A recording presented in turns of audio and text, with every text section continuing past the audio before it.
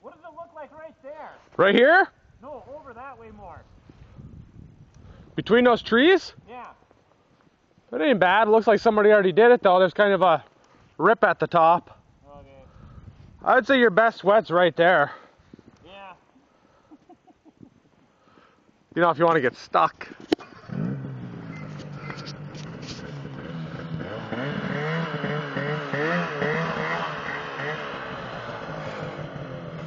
Someone's getting stuck.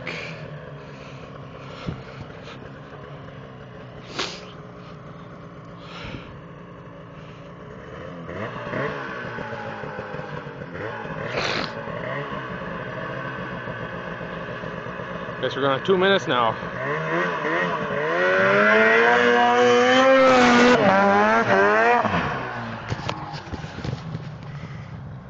Told ya.